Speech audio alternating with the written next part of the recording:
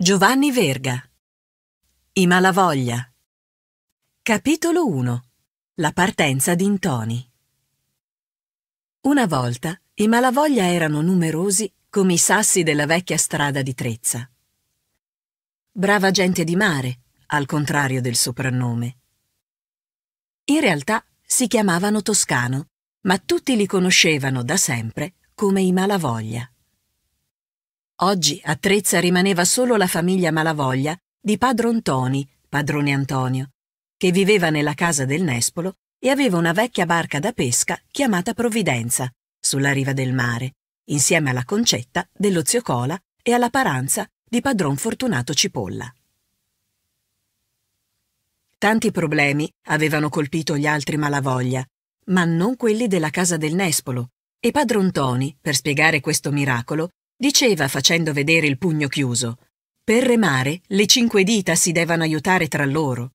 E diceva anche, gli uomini sono come le dita della mano.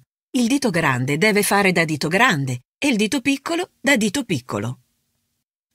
E la sua famiglia era realmente organizzata come le dita della mano.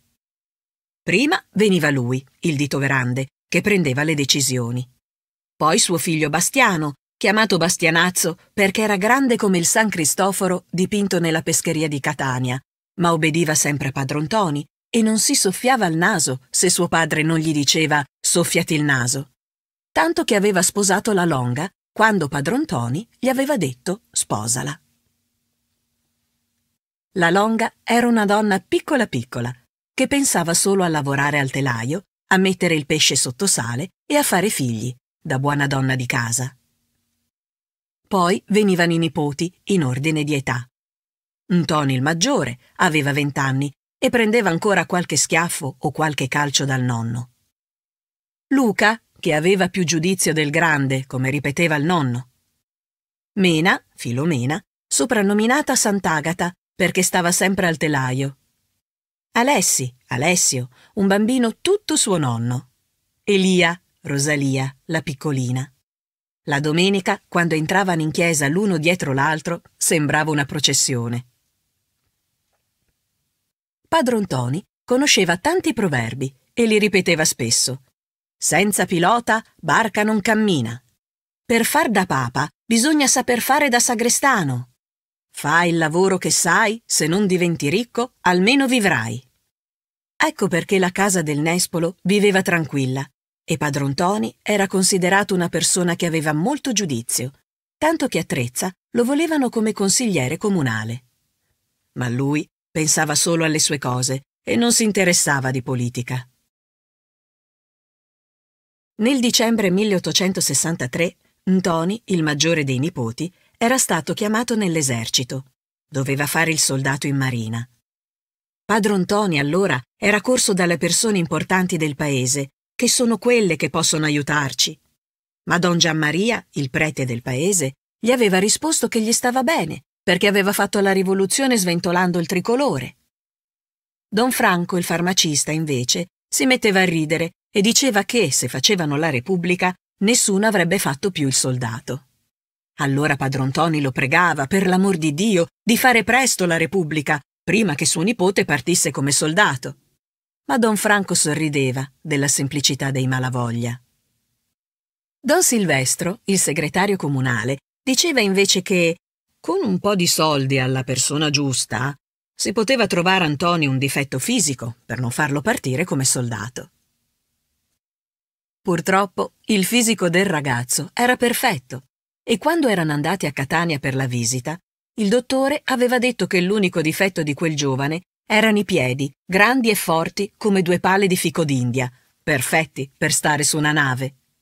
Così Vittorio Emanuele II e lo Stato avevano preso un Toni. E la Longa, mentre camminava verso la caserma, lo pregava di tenere sempre sul petto l'immagine della Madonna, di mandare notizie ogni volta che qualcuno tornava al paese e che gli avrebbero mandato i soldi per pagare la carta da lettere. Il nonno, invece, non diceva nulla, anche se sentiva qualcosa nella gola che non riusciva a mandar giù. Così, mentre Ntoni restava a Catania per partire soldato, la Longa e padron Toni erano tornati ad Aci Trezza. Bastianazzo era appena arrivato al porto, stava lavorando sulla provvidenza e vedendoli tornare pieni di tristezza, non aveva avuto il coraggio di dire niente. Il giorno dopo, tutta la famiglia Malavoglia era andata alla stazione di Aci Castello per veder passare il treno, con i soldati che andavano a Messina, e aveva aspettato più d'un'ora tra la gente. Finalmente il treno era arrivato, carico di soldati come vitelli portati al mercato, Addio, Ntoni! Addio, mamma! Ricordati, ricordati! Lì vicino c'era Sara di comare Tudda a raccogliere l'erba per il vitello. Ma comare Venera la Zuppidda diceva che Sara era venuta solo per salutare Ntoni di padron Toni. I due giovani si parlavano dal muro dell'orto, li aveva visti lei con i suoi occhi. Certo è che Ntoni aveva salutato Sara con la mano e lei era rimasta ferma a guardare il treno che partiva. Alla longa quel saluto era sembrato rubato, a lei, e per molto tempo, quando incontrava Sara in piazza o alla grande vasca per lavare i panni, le girava le spalle senza parlare, perché era arrabbiata. Poi il treno era partito e la folla era tornata lentamente a casa. Padron Toni, immaginando che la nuora avesse la bocca amara per la tristezza, le aveva pagato con due centesimi un bicchiere di acqua con il limone. Comare Venera la Zuppidda, per confortare comare la Longa, le diceva Ora mettetevi il cuore in pace, perché per cinque anni bisogna comportarsi come se vostro figlio fosse morto e non pensarci più. Nella casa del Nespolo, invece, pensavano spesso a Antoni e il nonno, per confortarsi, diceva Fare un po' di soldato farà bene a quel ragazzo.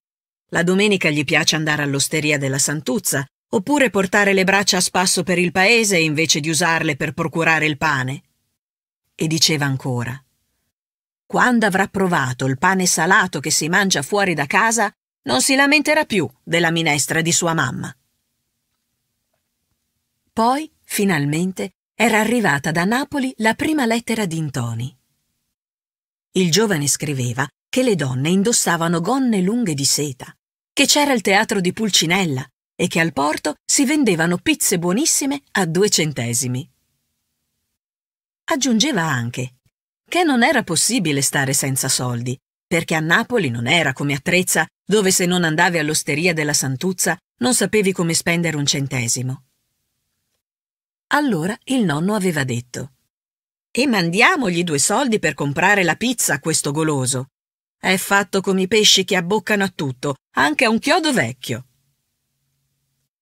Con la lettera, Ntoni aveva mandato anche un suo ritratto, che aveva fatto il giro del paese, e tutte le ragazze se lo rubavano per guardarlo. Intanto il tempo passava e alla casa del Nespolo avere una persona in meno era un problema per il lavoro. Le braccia di Ntoni mancavano, perché la pesca non andava bene, e a volte per portare la barca in mare bisognava pagare Menico della Locca o qualcun altro. E poi bisognava pensare anche al matrimonio di Mena, perché aveva quasi 17 anni, e quando la domenica andava a messa, i ragazzi cominciavano a guardarla. Così padron Toni, per mandare avanti gli affari, aveva fatto un accordo con lo zio crocifisso Campana di Legno per comprare a credito e poi rivendere una grande quantità di lupini. Si erano incontrati sulla porta della chiesa la prima domenica di settembre, che era stata la festa della Madonna. C'era anche compare Agostino Piedipapera, il sensale, che aveva messo d'accordo padron Toni e zio Crocifisso per due onze e dieci al quintale, da pagare un po' al mese. Quando la Longa aveva saputo dell'accordo dei lupini, dopo cena, mentre la famiglia chiacchierava con i gomiti sulla tovaglia, era rimasta a bocca aperta, perché quella grossa quantità di denaro di 40 onze la preoccupava molto e sentiva come un peso sullo stomaco. Ma padron Toni aveva spiegato che se l'affare andava bene, c'era il pane per l'inverno per tutta la famiglia e gli orecchini per il futuro matrimonio di Mena e Bastiano, in pochi giorni, poteva andare con la provvidenza a riposto, vendere i lupini e tornare. Il giorno dopo, le donne avevano messo in ordine la barca e ogni cosa per il viaggio. Il pane fresco, il vaso per l'olio, le cipolle, il cappotto di pelle. Mentre gli uomini avevano discusso tutto il giorno con quell'usuraio dello zio crocifisso, perché avevano scoperto che i lupini erano fradici e non erano più buoni da mangiare e non volevano più prenderli. Campana di legno diceva Io non ne sapevo nulla, lo giuro, l'accordo resta valido. I malavoglia cercavano di tirare sul prezzo, ma zio Crocifisso, sapendo che avevano bisogno di guadagnare denaro con quell'affare, diceva con ironia Non volete più prenderli? Lasciateli ma non posso togliere neppure un centesimo.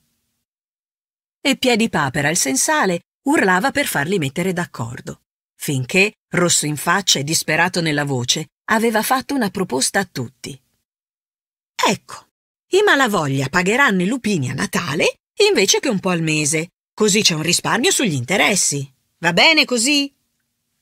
E mentre parlava, aveva cominciato a mettere i lupini dentro i sacchi. La provvidenza era partita dal piccolo porto di Trezza il sabato verso sera, quando la campana della sera era già suonata. Le ragazze giravano come gli uccelli attorno alla fontana e la prima stella era già alta nel cielo. La longa, con la bambina in braccio, stava sulla riva senza dire niente, mentre il marito Bastiano scioglieva la vela e la barca si dondolava sulle onde come un'anatra. Scirocco chiaro e tramontana scura. Mettiti in mare senza paura, diceva padron Toni, guardando verso la montagna tutta nera di nuvole. Menico della Locca, che era nella provvidenza con Bastianazzo, gridava qualcosa che il rumore del mare copriva. Dice che i soldi potete mandarli a sua madre, la Locca, perché suo fratello è senza lavoro, aveva gridato Bastianazzo e questa era stata la sua ultima parola. Capitolo 2 Il paese di Aci In tutto il paese non si parlava d'altro che dell'affare dei lupini. Un affare d'oro! gridava Piedipapera, camminando con la gamba zoppa dietro a padron Toni, che andava a sedersi sulla scala della chiesa accanto a padron Fortunato Cipolla e al figlio della Locca, per prendere il vento fresco della sera. Compare Piedipapera si divertiva a parlare male della gente, ma senza cattiveria. Massaro Filippo è passato due volte davanti all'osteria, diceva ironico, e aspetta che la santuzza gli faccia segnale per andare con lei nella stalla per eh, dire insieme il Santo Rosario. Oppure parlava con il figlio della Locca. Tuo zio crocifisso cerca di rubare il campo di tua cugina Vespa. Vuole pagarlo la metà di quello che vale, con la promessa che la sposerà. E iniziavano a litigare, perché padron Toni diceva che lo zio crocifisso era una persona onesta ed era sicuro che non voleva sposare la figlia di suo fratello per i soldi. Ma lui è veramente ricco, diceva Piedipapera, mentre la Vespa ha solo quel campo, grande quanto un fazzoletto da naso. Lo dite a me? che ho la vigna lì vicino, diceva allora padron Cipolla, pieno di orgoglio. Voi chiamate vigna quelle quattro piante di fichi d'India? rideva Piedipapera. In mezzo ai fichi d'India ci sono le viti, e se San Francesco manderà una buona pioggia, vedrete che buon vino farò. Il sole oggi è tramontato tra le nuvole, pioggia o vento sono in arrivo. A Piedipapera non piaceva padron Cipolla, perché dava sempre giudizi e credeva di sapere tutto solo perché era ricco. Nel frattempo era arrivata la notte e si sentiva il rumore dei carri che passavano sulla strada. Prima della mezzanotte la provvidenza avrà passato il capo dei mulini, pensava padron Toni, e il vento non le darà più problemi.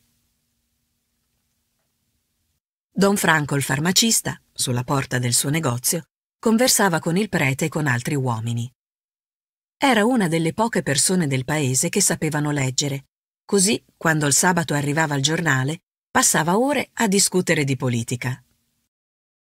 Sentite don Giammaria che litiga con don Franco, diceva Piedipapera, mentre don Silvestro, il segretario comunale, rideva con degli ah ah ah che sembrava una gallina. Ecco don Silvestro che fa l'uovo, diceva allora il figlio della locca. Don Silvestro fa le uova d'oro laggiù al municipio, ribatteva Piedipapera, che non lo sopportava, perché, diceva, era arrivato ad Acitrezza senza scarpe ai piedi ed ora aveva i più bei campi del paese. Hm, diceva padron Cipolla. Comare Zuppidda, però, non gli ha voluto dare la figlia in moglie. Vuol dire che mastro Turi Zuppiddu preferisce le uova delle sue galline, aggiungeva padron Toni, mentre padron Cipolla, facendo di sì con la testa, gli domandava Ma voi dareste vostra nipote Mena a don Silvestro? Ognuno la propria arte e il lupo alle pecore. Allora padron Cipolla sorrideva, continuando a fare di sì con la testa, anche perché fra lui e padron Toni avevano iniziato a parlare del possibile matrimonio tra Mena e suo figlio Brasi. Se l'affare dei lupini andava bene, il matrimonio si sarebbe fatto presto, perché Mena avrebbe avuto la sua dote. Nel frattempo, la longa era tornata a casa e aveva acceso la lampada ad olio. Comare Mena non si vede ma si sente, perché sta al telaio notte e giorno come Sant'Agata, dicevano le vicine. A donna alla finestra, non far festa, rispondeva allora la longa. Alcune però trovano marito proprio stando alla finestra, diceva la cugina Anna, pensando a suo figlio Rocco che si era innamorato della mangiacarrubbe che stava sempre alla finestra ad aspettare i ragazzi che passavano. Comare Grazia Piedipapera, sentendo che c'era conversazione nella strada, si era affacciata alla porta. Aveva il grembiule pieno delle fave che stava pulendo e urlava contro i topi che avevano bucato il sacco. I topi avevano fatto dei danni anche alla longa e la cugina Anna ne aveva la casa piena dopo che il suo gatto era morto. Così il discorso era diventato generale. I gatti grigi sono i migliori per prendere i topi, Bisogna fare attenzione, perché alcuni ladri hanno preso il gatto di una vecchia e poi l'hanno riportato giorni dopo. La vecchia ha sentito il gatto e ha aperto la porta, ma invece del gatto sono entrati i ladri. Non si può più stare sicuri. Intanto, in mezzo a tutte queste chiacchiere, era arrivata la Zuppidda, la moglie di Turi il Calafato, che abitava in fondo alla strada, e aveva cominciato a chiacchierare anche lei. La Zuppidda, infatti, andava tutto il giorno in giro a parlare di qua e di là e sapeva tutto quello che succedeva in paese. La Mangiacarrubbe è una ragazza senza vergogna che ha visto passare tutto il paese sotto la sua finestra, diceva. Vanni Pizzuto le portava in regalo i fichi d'India rubati a compare Filippo e poi li mangiavano insieme nella vigna e giurava di averli visti con i suoi occhi. Don Giammaria dice che fate peccato a parlare male delle persone, diceva allora la cugina Anna. Don Giammaria dovrebbe fare la predica a sua sorella Rosolina, che fa gli occhi dolci a Don Silvestro e anche a Don Michele il brigadiere. Insomma, tutte le vicine avevano fatto come le lumache quando piove, e lungo la strada si sentivano da una porta all'altra tante chiacchiere che lentamente si spegnevano. Soltanto laggiù, all'osteria, si sentiva ancora confusione e la voce di Rocco Spatu ubriaco. Compare Rocco al cuore contento, aveva detto una voce nel buio. Oh, siete ancora là, compare Alfio? rispondeva Mena, che stava sulla porta di casa ad aspettare il nonno. Sì, sono qua, comare Mena. Sto qui a mangiare la minestra, perché quando vi vedo tutti a tavola, con la lampada accesa, mi sento meno solo. Non avete il cuore contento voi? Eh, ci vogliono tante cose per avere il cuore contento. Ma Mena non rispondeva niente a queste parole, e allora compare Alfio diceva, continuando, Domani vado in città per un carico di sale. Compare Alfio va in città per cercare la moglie, aggiungeva Annunziata dalla porta davanti. Davvero? Domandava Mena.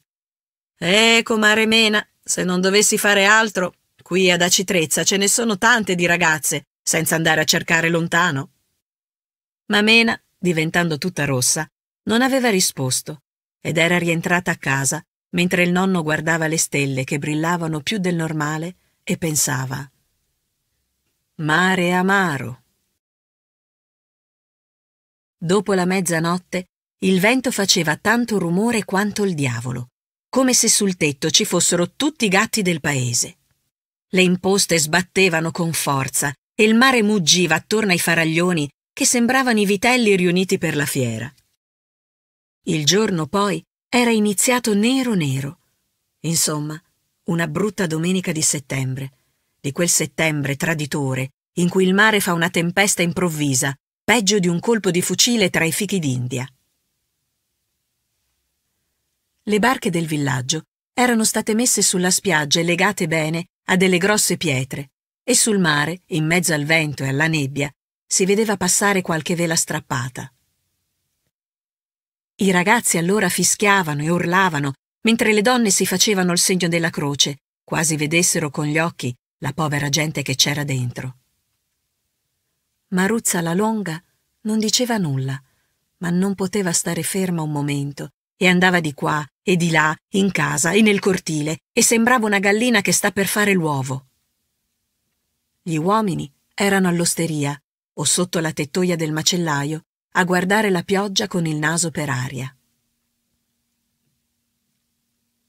Sulla riva c'era soltanto padron Toni, per quel carico di lupini che era in mare con la provvidenza, e poi per suo figlio Bastianazzo.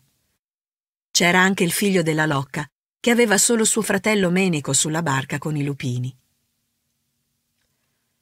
Padron Fortunato Cipolla, mentre gli facevano la barba nel negozio di Pizzuto, diceva che con quel brutto tempo non avrebbe scommesso un soldo su Bastianazzo e Menico della Locca, con la provvidenza e il carico dei lupini.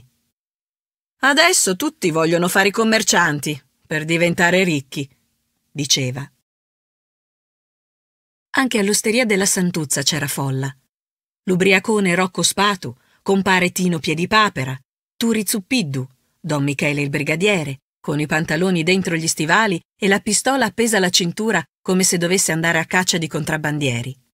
Mastro Turi Zuppiddu e lo zio Santoro, il padre della Santuzza, che era cieco e aspettava con la mano tesa chiedendo l'elemosina. In una giornata come questa deve guadagnare molti soldi con tutta questa gente all'osteria, diceva Turi Zuppiddu. Bastianazzo Malavoglia sta peggio di lui a quest'ora, rispondeva Piedipapera, mentre le campane della chiesa suonavano per chiamare le persone alla messa. Oggi i Malavoglia non ci vanno in chiesa, aveva aggiunto guardando fuori. Il vento alzava le gonne delle donne che passavano sulla piazza e spostava le foglie secche, mentre la Santuzza, all'ultimo suono di campana, lasciava a suo padre il lavoro dell'osteria per andare in chiesa in mezzo agli sguardi attenti di tutti gli uomini. La chiesa era già piena e le donne parlavano tra di loro di tutti i fatti del paese, mentre lo zio crocifisso stava in ginocchio vicino all'altare della Madonna Addolorata, con il rosario in mano, e pregava con voce nasale. E fra un'Ave Maria e l'altra si parlava dell'affare dei lupini, della provvidenza che era in mare e della longa che rimaneva da sola con cinque figli. Volete la verità? aveva detto d'improvviso la voce della Vespa. La vera sfortuna è dello zio crocifisso che ha dato i lupini a credito. Capitolo 3 Una famiglia distrutta Era arrivata la sera, triste e fredda. Una di quelle sere in cui, se la barca è al sicuro sulla spiaggia, è un piacere guardare la pentola che fuma sul fuoco con i bambini tra le gambe e ascoltare i passi delle donne per la casa. I fannulloni, invece, passavano quella domenica all'osteria, una domenica che sembrava annunciare il freddo dell'autunno, tanto che anche lo zio Santoro, con le mani tese e il mento sulle ginocchia, si era avvicinato al camino acceso per scaldarsi un po'. Lui sta meglio di compare Bastianazzo a quest'ora, ripeteva Rocco Spatu l'ubriacone accendendo la pipa. E senza pensarci prendendo dalla tasca due centesimi per fare l'elemosina a zio Santoro. Con l'elemosina tu ringrazi Dio che sei al sicuro, gli disse Piedipapera. Per te non c'è pericolo di morire, come per compare Bastianazzo. E tutti ridevano. Padron Toni è andato tutto il giorno di qua e di là sotto la pioggia, dicevano. E il figlio della locca, che era fuori dell'osteria con le mani in tasca, perché non aveva soldi, aggiungeva. Lo zio crocifisso è andato con Piedipapera a cercare padron Toni per fargli dire davanti a un testimone che i lupini glieli aveva dati a credito. Anche lui li vede in pericolo con la provvidenza, si sentiva dire. Con la provvidenza c'è andato anche mio fratello Menico. Così, se non torna, resti il padrone della casa. È andato sulla provvidenza solo perché zio Crocifisso gli paga mezza giornata quando va a pesca, mentre Malavoglia gliela pagano intera. Intanto, al tramonto, Maruzza la Longa con i figli era andata ad aspettare il marito sugli scogli del porto, da dove si vedeva un bel pezzo di mare. Le onde muggivano e sbattevano sui faraglioni, ma lei non diceva niente. La piccola Lia piangeva e quei poveretti fermi sulla riva a quell'ora sembravano le anime del purgatorio. Non sapeva cosa fare per calmare la bambina e cantava delle canzoncine con voce tremante, che sembrava piangesse anche lei. Le comari che passavano con il vaso dell'olio e la bottiglia del vino si fermavano a dire qualche parola con la longa. Passava anche qualche amico del marito Bastianazzo, domandavano informazioni o si fermavano un po' per farle compagnia in silenzio. La longa, sorpresa da tante attenzioni, guardava tutti con gli occhi pieni di lacrime e stringeva al petto la bambina, come se volessero rubargliela. Finalmente, il più duro, o il più compassionevole, prendendo per un braccio la donna, aveva avuto il coraggio di portarla a casa. E lei si lasciava portare, ripetendo Oh Vergine Maria, oh Vergine Maria. I bambini la seguivano, stretti alla sua gonna, e mentre passavano davanti all'osteria, tutti si affacciavano per vederli. Lo zio Santoro, il cieco, diceva sottovoce una preghiera, aggiungendo Quel povero Bastianazzo mi faceva sempre l'elemosina quando padron Toni gli lasciava qualche soldo in tasca. E nel frattempo la longa, che non sapeva di essere vedova, ripeteva Oh Vergine Maria, oh Vergine Maria. Davanti a casa sua c'era un gruppo di vicine che aspettava, parlando a voce bassa. Vedendola arrivare da lontano, comare Piedipapera e la cugina Anna le erano venute incontro, con le mani sul petto, senza dire niente. Allora lei si era messa le mani nei capelli e con un grido disperato era corsa dentro casa. Che disgrazia, ripetevano tutti. E la barca era carica, più di 40 onze di lupini. Il peggio era che i malavoglia avevano preso i lupini a credito e lo zio crocifisso non si accontentava di buone parole e mele fradice. Per questo lo chiamavano campana di legno, perché non ci sentiva quando lo volevano pagare con delle chiacchiere. Era una buona persona, che viveva prestando denaro agli amici. Non faceva altro mestiere e per questo stava in piazza tutto il giorno, con le mani in tasca e una giacca tutta rovinata che sembrava povero. Invece aveva tantissimi soldi e se qualcuno andava a chiederne, glieli dava subito, ma con il pegno, perché chi fa credenza senza pegno perde l'amico, la roba e l'ingegno. Dovevano ridarglieli la domenica successiva e con l'interesse, perché con l'interesse non c'è amicizia. Se qualche pescatore aveva bisogno di soldi, gli comprava anche tutti i pesci della giornata, ma con lo sconto e pesati con le sue bilance, che erano false come quelle di Giuda. Insomma, era un grande aiuto per quelli che erano in difficoltà. E adesso i suoi nemici ridevano di lui per quei lupini finiti sul fondo del mare e doveva anche pregare per l'anima di Bastianazzo insieme con i confratelli della Buona Morte. I vetri della chiesetta brillavano al sole e il mare era liscio e luminoso, tanto che non sembrava lo stesso che aveva rubato il marito alla longa. Perciò i confratelli avevano fretta di finire la cerimonia per la morte di Bastiano e approfittare del tempo buono per fare ognuno il proprio lavoro. I malavoglia erano là, inginocchiati davanti alla bara, e lavavano il pavimento con le lacrime, come se il morto fosse davvero in quella bara che don Giammaria, il prete, bagnava con l'acqua santa, mentre compare Cirino, il sacrestano, iniziava a spegnere le candele. Zio Crocifisso si era avvicinato a padron Toni e gli aveva offerto un po' di tabacco, perché quando uno è generoso lascia buon nome e si guadagna il paradiso. E a chi gli domandava con malizia dei lupini, rispondeva I malavoglia sono galantuomini e non vorranno lasciare compare Bastianazzo all'inferno se non pagano il debito. La casa del Nespolo era piena di gente e tutti dicevano Povera Longa, ora cominciano i guai per la sua casa. Gli amici portavano qualche cosa, come tradizione, pasta, uova, vino e ogni bene di Dio. Anche compare Alfio Mosca, il carrettiere, era venuto con due galline, una per ogni mano. Prendete queste qua mena, diceva, che avrei voluto essere io al posto di vostro padre, vi giuro. Almeno non avrei fatto danno a nessuno e nessuno avrebbe pianto. Mena, sulla porta della cucina, con la faccia nascosta nel grembiule. Sentiva battere forte il cuore e voleva scappare come quelle povere galline che aveva in mano. La sua dote era affondata insieme con la provvidenza e tutti pensavano che zio Crocifisso si sarebbe preso la casa del Nespolo se i malavoglia non riuscivano a pagare il debito. Alcuni arrivavano e se ne andavano senza dire nulla, ma chi sapeva parlare cercava di confortare un po' quei poveri malavoglia. Piangevano da due giorni come fontane.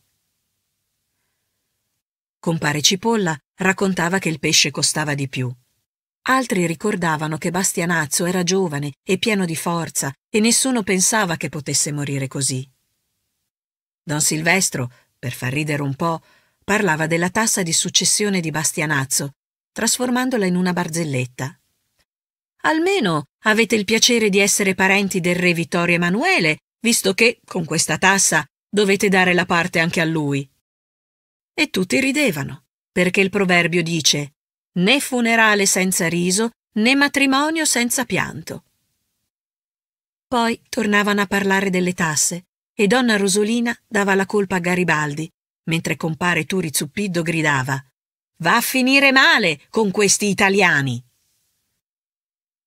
La longa, seduta sul letto, pallida come un panno lavato, sembrava la Madonna addolorata, e padron Toni, piegato in due, più vecchio di cent'anni, la guardava senza sapere cosa dire. Ognuno raccontava le proprie storie, anche per confortare i malavoglia, che non erano i soli ad avere problemi. Il mondo è pieno di guai, chi ne ha pochi e chi ne ha assai. Padron Cipolla Sapeva perché non pioveva più come prima e lo raccontava a tutti. Non piove più perché hanno messo il filo del telegrafo. Compare Mangiacarrubbe e Tino Piedipapera ascoltavano a bocca aperta perché sulla strada di Aci Trezza avevano messo davvero il filo del telegrafo. Ma siccome don Silvestro cominciava a ridere e a fare ah ah ah come una gallina perché non ci credeva, padron Cipolla insisteva. Il telegrafo porta le notizie da un posto all'altro, perché dentro il filo c'è un succo che porta via la pioggia dalle nuvole. E se non ci credevano, potevano chiederlo al farmacista. Ecco perché hanno fatto la legge che chi rompe i fili del telegrafo va in prigione. Poi cambiavano argomento e guardavano l'orto. Un pezzo di terra lavorato bene dà da mangiare per tutto l'anno, osservava compare Mangiacarrubbe. In effetti la casa dei Malavoglia era stata sempre una delle migliori a Trezza, ma ora, con la morte di Bastianazzo, Ntoni soldato, Mena che aveva bisogno della dote per sposarsi e tutti quei bambini, era in grande difficoltà. E cosa poteva valere la casa? Ognuno guardava le stanze e l'orto e il tetto, come per capire il valore. Volete scommettere che non è tutto oro quel che luccica? diceva don Silvestro. Padron Cipolla, che aveva scambiato qualche parola con padron Toni per far sposare Mena con il figlio Brasi, faceva segno di no, con la testa. Il vero disgraziato è lo zio crocifisso che ha perso il credito dei lupini, diceva intanto qualcuno, e tutti giravano la testa verso Campana di Legno, che era venuto per rispetto del morto e stava zitto in un angolo. Dopo che tutti erano andati via, i malavoglia erano rimasti soli nel cortile.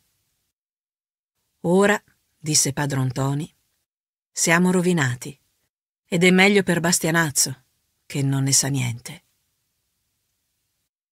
Capitolo 4 Ntoni ritorna a casa. I giorni passavano e il dolore per la morte di Bastianazzo si rinnovava ogni volta che i malavoglia pensavano al debito dei lupini. La Longa non diceva niente, ma aveva in testa un pensiero fisso. Cos'era successo a suo marito e alla provvidenza quella notte al capo dei mulini? Tutti erano tornati al loro lavoro con le lacrime agli occhi, anche Mena, che ora era senza dote, e per questo padron Fortunato Cipolla non veniva più a parlare con padron Toni.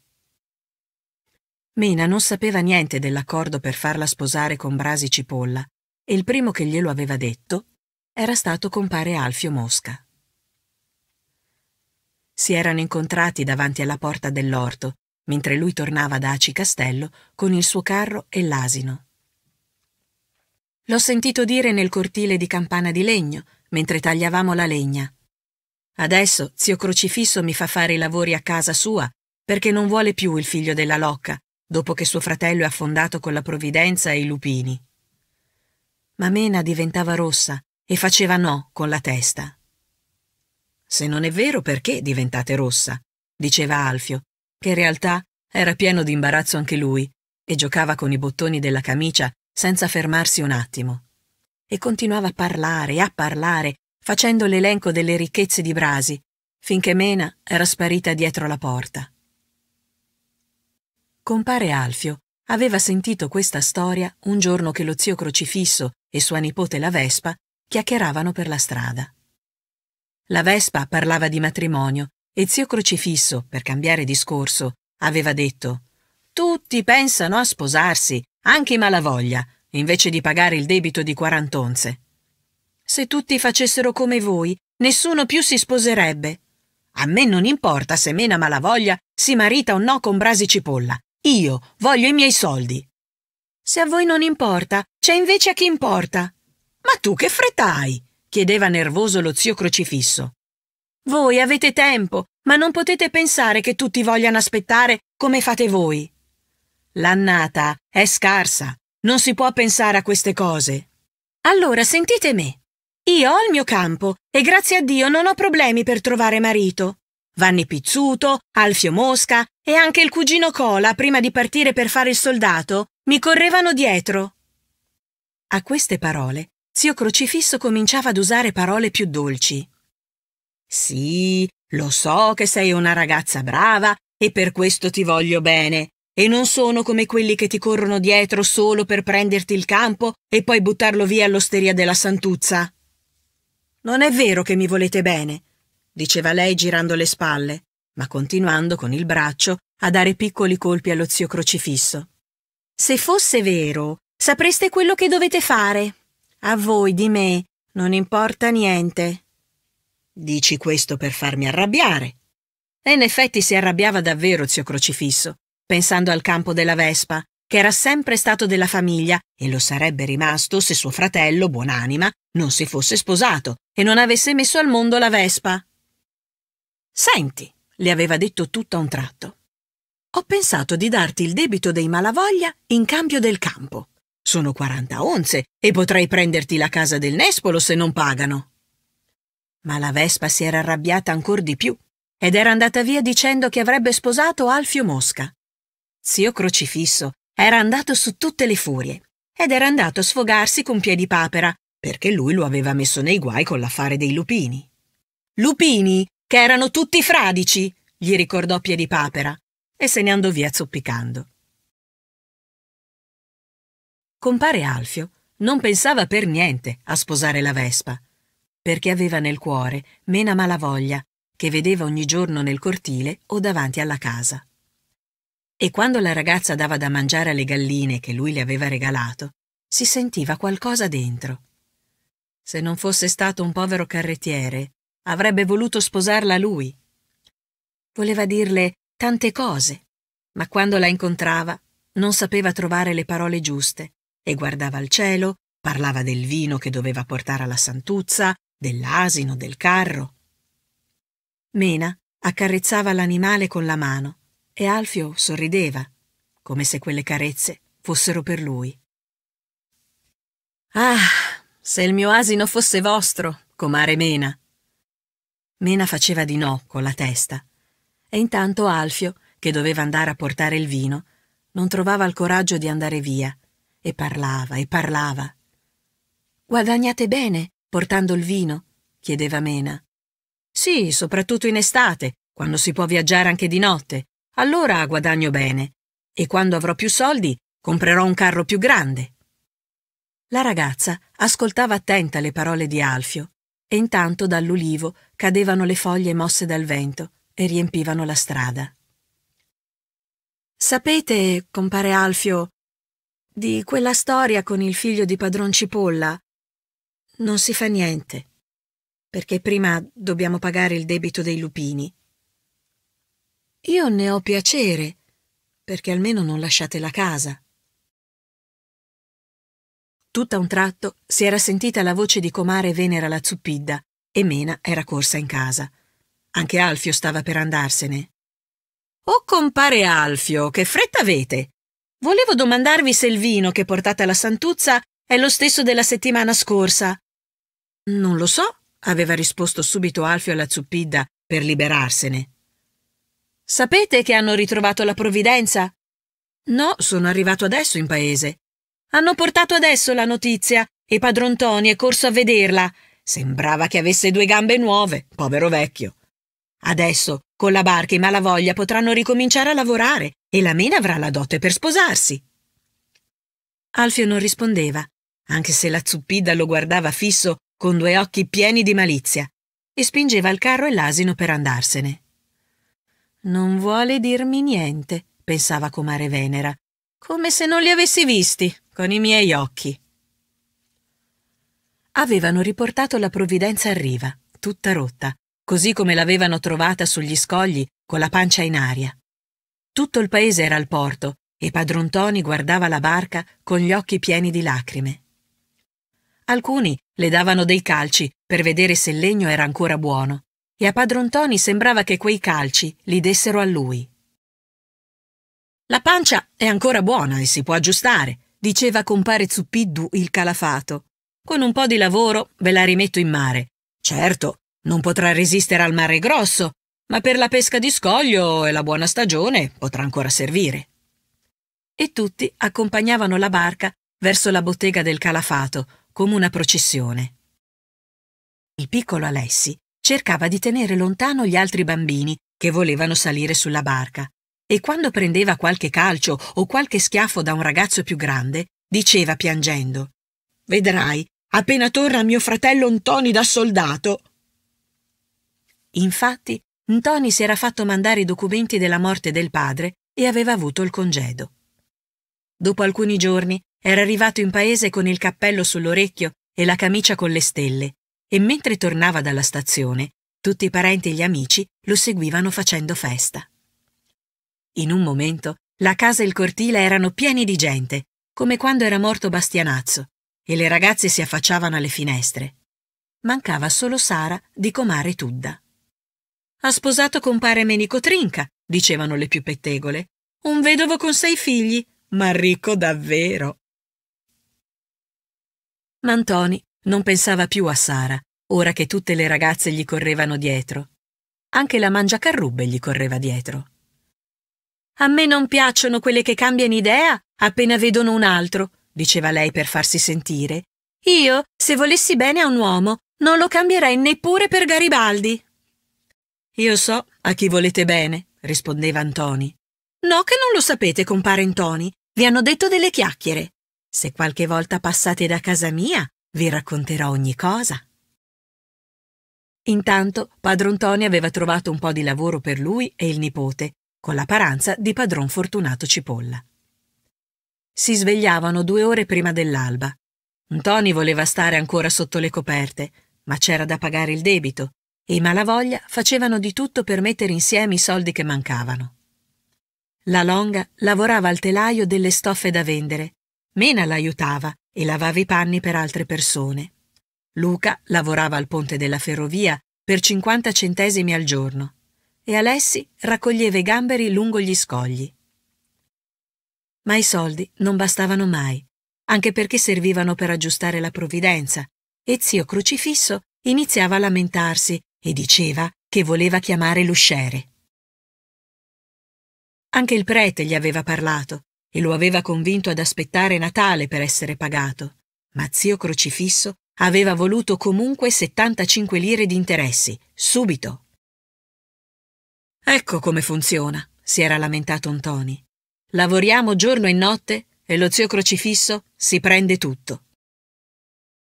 Così se n'era andato da compare Zuppiddo il calafato con la scusa di vedere a che punto erano i lavori per la provvidenza. Ci andava invece per parlare con Barbara, la figlia del calafato. La ragazza, quando c'era Antoni, arrivava di corsa per mettere la legna sul fuoco, sotto la grande pentola dove bolliva la pece. Siete il braccio destro della casa, le diceva allora Antoni per farle piacere. Ecco perché vostro padre non vuole farvi sposare. Non vuole che io sposi quelli che non fanno per me, rispondeva lei. E io? Faccio per voi? chiedeva allora Antoni senza imbarazzo. Ma cosa dite? La mamma è di là che ascolta. Perdonatemi, lasciate che vi aiuti. Si avvicinava e prendeva dalle mani di Barbara i pezzi di legno per il fuoco. Ma è vero che venite qui per vedere la mangiacarrubbe? chiedeva lei. Io vengo qui per vedere la provvidenza e... Allora, quando sarete in mare, penserete che ho fatto io il fuoco per la pece. Intanto Natale si avvicinava e ogni casa del paese si abbelliva a festa. Capitolo 5 La provvidenza torna in mare. Tutte le ragazze si rubano con gli occhi in Toni Malavoglia, si lamentava zio Crocifisso.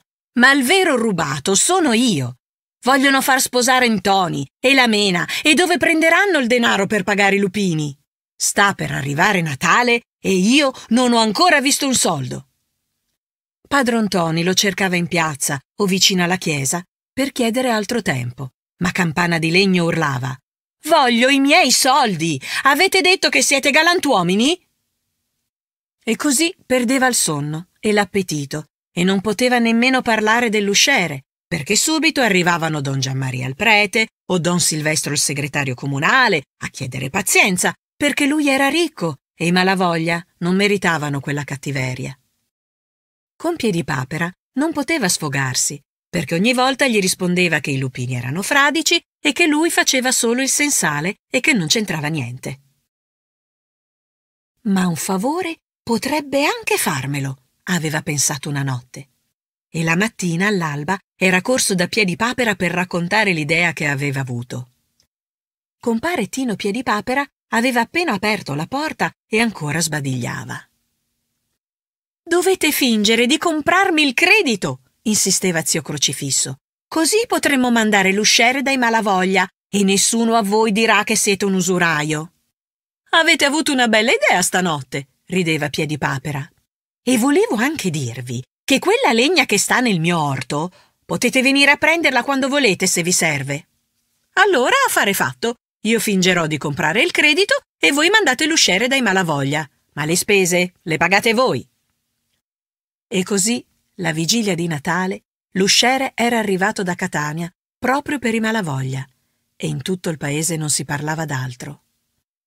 Lo dicevo io. Ntoni dentro casa mia. Io non ce lo volevo, urlava compare Zuppiddu a sua moglie. Vuoi ancora farlo sposare a Barbara adesso che è arrivato l'usciere? E mica si mangia la gente l'usciere, rispondeva arrabbiata sua moglie. L'usciere, è vero, non mangiava la gente, ma i malavoglia erano rimasti così male dopo il suo arrivo che non sapevano cosa fare. Cosa faremo? chiedeva la longa. Padron Toni non lo sapeva, ma alla fine, prendendo in mano i documenti che l'usciere gli aveva dato, era andato dallo zio crocifisso. Questo però diceva di non sapere niente. Io ho venduto il credito a Piedipapera, dovete parlare con lui. Piedipapera rispondeva che non poteva fare niente, che lui era solo un povero diavolo e aveva bisogno di quei soldi. Padron Toni gli diceva di prendere al posto dei soldi la provvidenza, che era quasi pronta, ma Piedipapera non voleva sentire queste storie. Qui ci vuole un consiglio di don Silvestro il segretario, aveva detto ad un certo punto la longa. Portategli quelle due galline là e vedrete che ci saprà dare un aiuto. Don Silvestro aveva accettato le galline e li aveva accompagnati dal dottor Scipioni, un bravo avvocato, che costava solo 25 lire e non era come gli avvocati di città che vogliono tanti soldi. I malavoglia andavano dall'avvocato quasi ogni giorno, come una processione. Anche la longa, con la bambina in braccio, li accompagnava per spiegare come stavano le cose, anche se poi, davanti all'avvocato, nessuno parlava. Finché un giorno, dopo aver guardato i documenti, l'avvocato aveva sorriso e aveva detto che non dovevano preoccuparsi.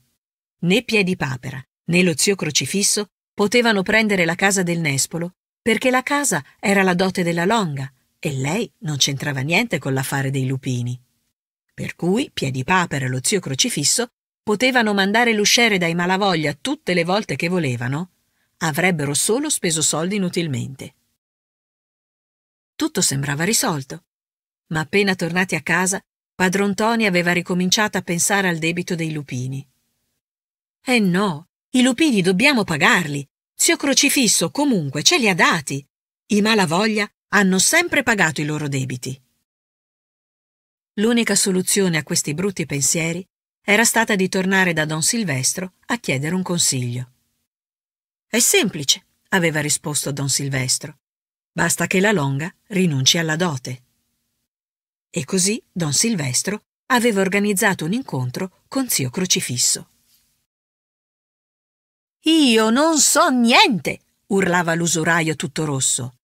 Io non c'entro più niente con l'affare dei lupini. Parlate con Piedipapera. Ma quando don Silvestro gli aveva spiegato che i malavoglia volevano pagare il debito e che la longa rinunciava alla casa come dote, lo zio Crocifisso era diventato più dolce. Don Silvestro, prendete pure quelle fave per seminare che mi avevate chiesto. Io intanto provo a parlare con Piedipapera. Luca, nel frattempo, era andato a fare il soldato e la festa per la provvidenza, che finalmente tornava in mare, era sembrata meno bella senza di lui. Tutto il paese era andato a vedere padron Toni e i suoi nipoti che prendevano la barca, che sembrava nuova. Ntoni era andato via presto per parlare con Barbara la Zuppidda, che stava pulendo le ultime cose vicino alla provvidenza. Voi, con la scopa in mano, sembrate una regina, le aveva detto felice. Ora che portate via la provvidenza, non verrete più a casa mia, compare Ntoni. Sì che ci verrò. Per andare al mare questa è la strada più corta. Ma ci verrete per vedere la mangiacarrubbe, che quando passate si affaccia alla finestra? Io ho altro per la testa, non la mangiacarrubbe. Viva San Francesco! gridavano tutti mentre accompagnavano la barca verso il mare. La provvidenza sembrava veramente nuova, tutta riverniciata con una bella linea rossa e un'immagine di San Francesco. E tra le voci c'erano sia complimenti che pettegolezzi. Ora i malavoglia potranno cominciare a lavorare di nuovo. Ma che non vedi che è una barca rattoppata? Se non avranno fortuna con la pesca, perderanno la casa e anche la barca. Devono ancora dare 50 lire a compare Zuppiddo il calafato per il lavoro fatto. Il più furbo è stato zio Crocifisso, che ha venduto il credito dei lupini a piedi papera. E tra una voce e l'altra, la provvidenza era arrivata in mare, dove si dondolava sulle onde come un'anatra. Mena era affacciata alla finestra e piangeva dalla felicità. Oh, comare Mena, oggi è una bella giornata per voi, diceva Alfio Mosca dalla finestra di fronte come il giorno in cui io venderò l'asino per comprare il mulo. E perché lo volete vendere, compare Alfio? Eh, se avessi soldi per dar da mangiare ad un'altra persona, prenderei moglie. Ma poiché Mena non diceva niente, compare Alfio aveva continuato. Ora che la provvidenza è di nuovo in mare, vi sposerete con Brasi Cipolla. Non lo so, il nonno non mi ha detto niente. Padron Toni era arrivato in quel momento, così carico di reti da pesca che sembrava una montagna.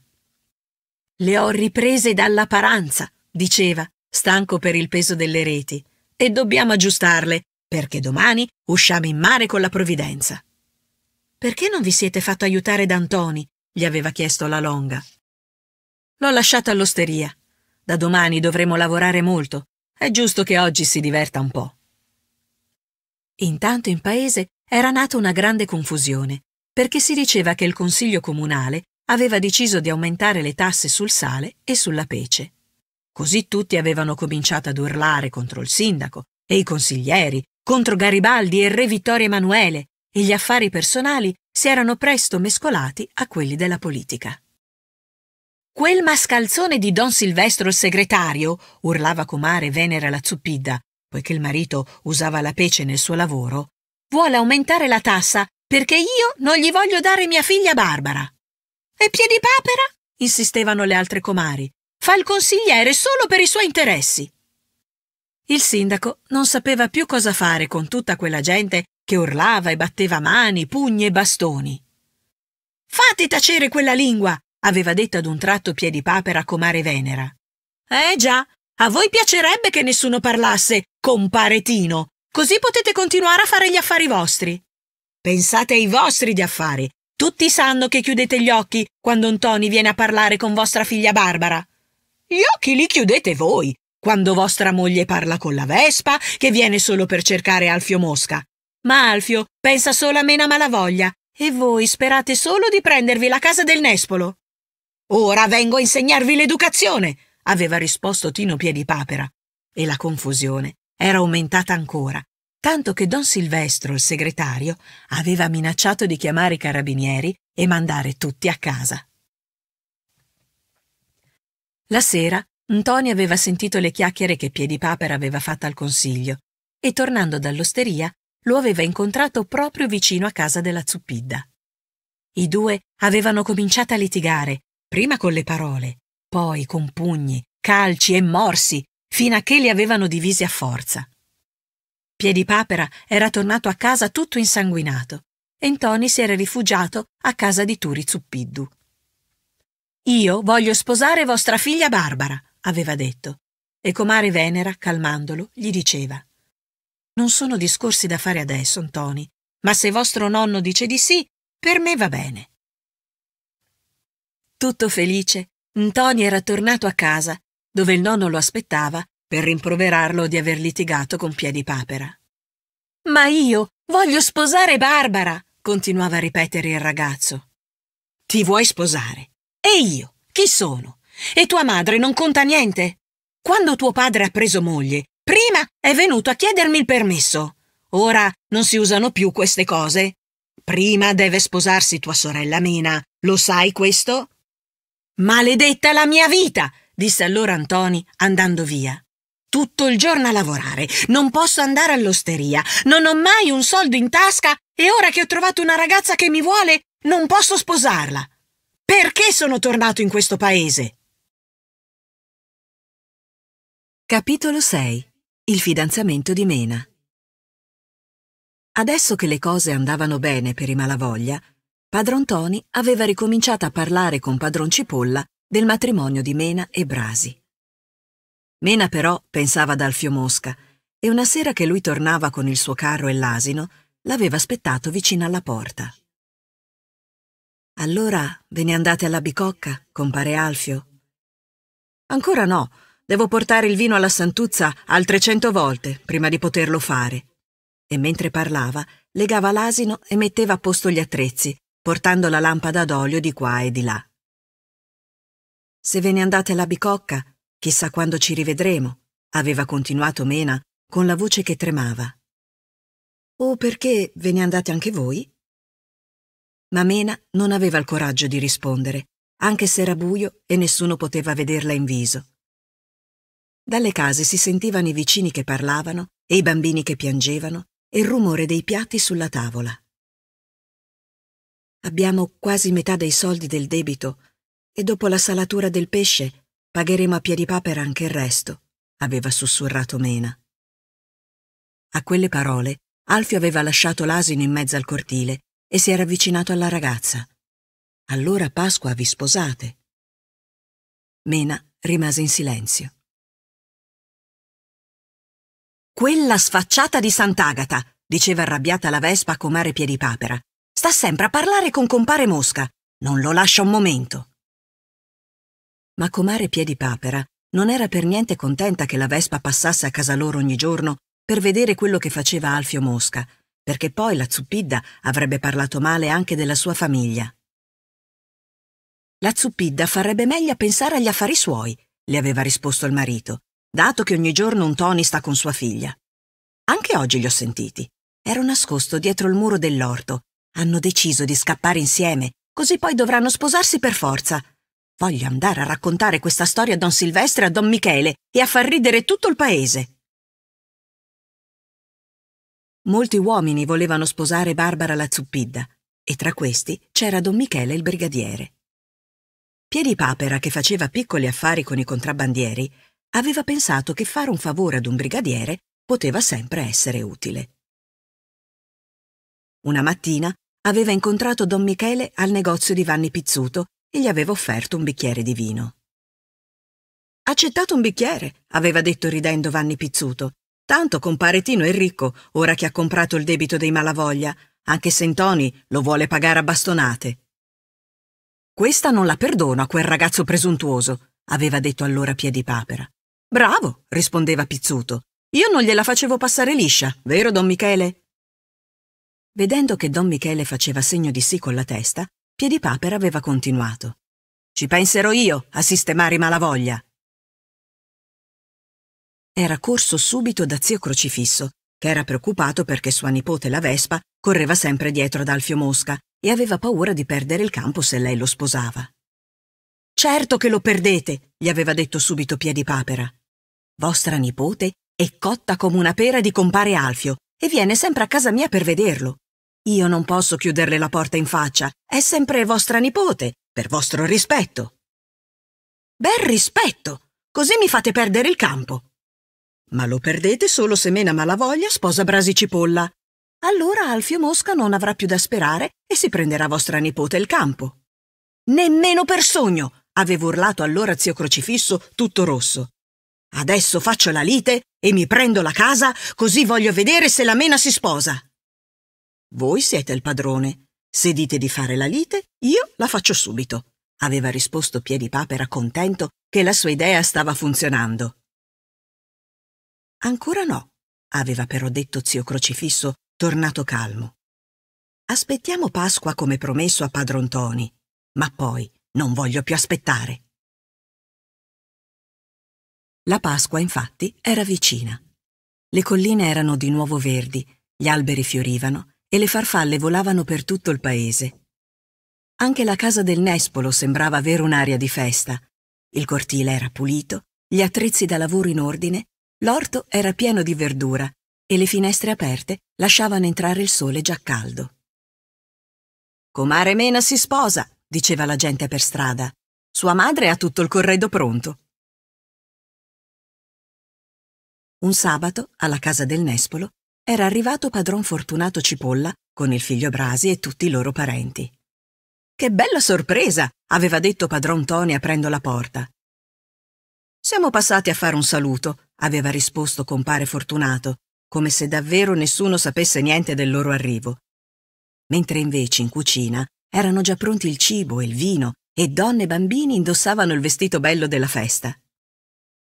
Mena sembrava davvero Sant'Agata, con il vestito nuovo e il fazzoletto nero in testa. E Brasi, mentre mangiava, continuava a guardarla.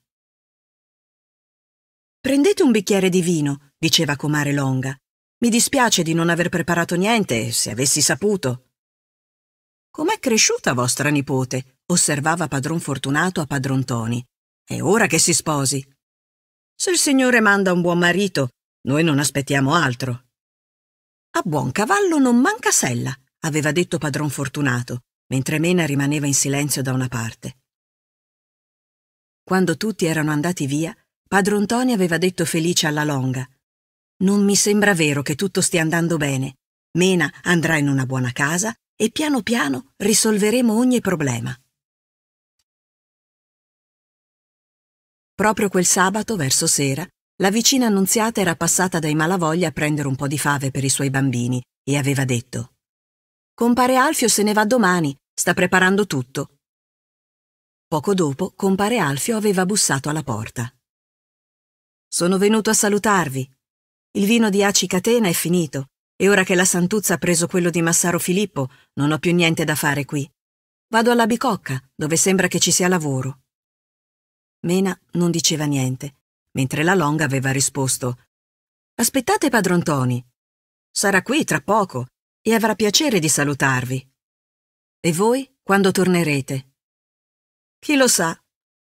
Io non vorrei andarmene, ma vado dove c'è lavoro. State attento, compare Alfio. Alla bicocca c'è tanta malaria e la gente muore. Io non vorrei andarmene, aveva ripetuto il giovane guardando fisso la candela. E voi? Non mi dite niente, comare Mena? Ma la ragazza non riusciva a parlare. Mi hanno detto che vi sposate, così anche voi presto partirete. Le ragazze vanno dove Dio le ha destinate. Tornati a casa padron Toni e i ragazzi, compare Alfio li salutò e tornò a sistemare le cose per la partenza. Nessuno in paese sapeva quello che volevano fare Piedipapera e lo zio Crocifisso. Il giorno di Pasqua, padron Toni era andato a portare le cento lire che aveva risparmiato e si era ripetuta la solita scena. Zio Crocifisso urlava che non c'entrava più niente con l'affare dei lupini e che quei pochi soldi bastavano a malapena per gli interessi. Piedipapera, invece, urlava che ormai non aveva più da mangiare e padron Toni, spaventato, era riuscito ad ottenere ancora un po' di tempo. Speriamo che padron Fortunato non venga a saperlo. La sera dell'ascensione erano tutti a casa dei Malavoglia, tranne comare Venera e sua figlia Barbara, che si erano offese perché la Longa aveva chiesto a comare Piedipapera di pettinare la mena per la festa. Avete voluto la Piedipapera! urlava Antoni, che era andato a prenderle. Tenetevela, o lei o io. I Malavoglia sapevano bene di aver scelto comare grazie a Piedipapera per il debito che avevano. Sono gentili con comare Piedipapera perché devono al marito i soldi della casa, continuava comare Venera. Ma a mio marito devono più di 50 lire per la riparazione della provvidenza. Lasciate stare, mamma, diceva Barbara, ma anche a lei dispiaceva di non poter indossare il vestito nuovo. Intanto la casa del Nespolo era piena di gente, come quando era morto compare Bastianazzo. Mena era bellissima con i capelli sciolti e tutte le comari le facevano festa intorno. Padron Cipolla raccontava le barzellette e i ragazzi correvano di qua e di là. Anche la longa sembrava aver dimenticato tutti i dolori e padron Toni, seduto sul muretto dell'orto, faceva sì con la testa e rideva tutto solo. Piedipapera guardava dal muro un gruppo di persone che, vicino alla fontana, discutevano con la faccia seria. Perché il vicario e don Silvestro non sono venuti? aveva chiesto a padron Toni. Sanno della festa, forse avevano da fare. Guardate, sono là che discutono. Cosa sarà successo? una vecchia urlava per la piazza e si strappava i capelli e davanti al negozio di Pizzuto c'erano due soldati circondati da una folla curiosa. Raccontavano di una grande battaglia in mare dove erano affondate navi grandi come aci trezza. Il figlio della Longa, Luca, era sul re d'Italia, pensava don Silvestro ascoltando il racconto. Il soldato intanto continuava a raccontare. Sì, c'erano anche dei siciliani, e aveva gli occhi lucidi. La nave si chiamava Re d'Italia ed è affondata in un attimo. Il giorno dopo si diceva che nel mare verso Trieste c'era stata una battaglia tra le navi italiane e quelle dei nemici. Le vicine venivano a domandare se Luca era su quella nave e la Longa pensava alle lettere del figlio che non arrivavano. Alla fine avevano deciso di andare a Catania per avere notizie. Dopo aver girato un po', li avevano mandati dal capitano del porto, che aveva tirato fuori un grosso libro con l'elenco dei soldati morti. Quando aveva letto il nome di Luca Malavoglia, la longa era caduta a terra, mezza morta. È successo più di un mese fa, aveva detto il capitano. È stato nella battaglia di Lissa. Non lo sapevate ancora? Capitolo 7 Il secondo naufragio Ora la casa del Nespolo fa veramente acqua da tutte le parti, dicevano nel paese. Eh già, perché se Luca non fosse morto, sarebbe tornato tra poco e avrebbe guadagnato 30 soldi al giorno. Ognuno deve guardare i propri interessi, aggiungeva Piedipapera. Questa volta una ragazza ci penserà bene prima di sposarselo, continuava la zuppidda, pensando a un Tony che ora doveva mantenere tutta la famiglia. E hanno ancora il debito dei lupini da pagare. Chissà come andrà a finire. Andava a finire che stavolta Piedipapera voleva essere pagato. San Giovanni era arrivato e i Malavoglia parlavano ancora di acconti, ma zio Crocifisso ormai era deciso. A settembre, diceva, sarà passato un anno da quando hanno preso i lupini e ancora non ho visto un soldo e gli acconti non bastano neppure a coprire gli interessi. I Malavoglia non sapevano più cosa fare. L'avvocato diceva che avevano sbagliato a dare la casa come garanzia e don Silvestro, senza pensarci tanto, gli aveva consigliato di dare subito la casa a Piedipapera. Almeno non perdete anche la provvidenza e non perdete le giornate ad andare dall'avvocato. Piedipapera andava a parlare con padron Toni come se fosse un amico, mettendogli un braccio sulle spalle. Scusatemi, fratello mio, a me dispiace più che a voi mandarvi fuori dalla vostra casa. Ma che volete? Sono un povero diavolo e quelle 500 lire mi servono. Se fossi ricco come lo zio Crocifisso, non ne parlerei nemmeno. Padron Toni non aveva il coraggio di dire alla Longa che dovevano lasciare la casa. E gli si spezzava il cuore a uscire da quelle stanze in cui potevano muoversi ad occhi chiusi. Tanto le conoscevano bene. Ogni volta che toglieva un chiodo dal muro o spostava un tavolino, padron Toni si fermava un attimo e abbassando gli occhi faceva segno di no con la testa. Poco tempo dopo erano tutti seduti sulle cose che avevano ammucchiato in mezzo al cortile e non si decidevano a partire. La Longa guardava la porta dalla quale erano usciti Bastianazzo e Luca, che non erano più tornati. Mena guardava la finestra di fronte quella di Alfio Mosca, ormai chiusa e abbandonata. Tutti avevano dei ricordi da portare con sé. Avevano affittato una piccola casa di proprietà del macellaio, nella strada del Nero, vicino a dove abitavano gli zuppiddi, ma si vergognavano a farsi vedere e la domenica andavano a messa fino ad Aci Castello per non incontrare nessuno. Padron Cipolla si lamentava Padron Toni non mi doveva fare questo sgarbo. Lo sapeva che aveva messo la casa come garanzia. Voleva imbrogliarmi. Piedipapera aveva subito rivenduto la casa del Nespolo a zio Crocifisso, che aveva mandato muratori e falegnami per sistemare alcune cose e farla salire di prezzo. E tutti, nel paese, avevano abbandonato i malavoglia.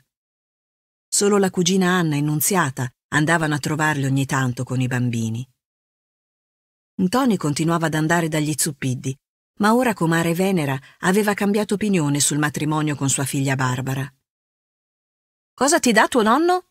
Niente. Se vuoi prendere moglie, devi avere una casa tutta tua.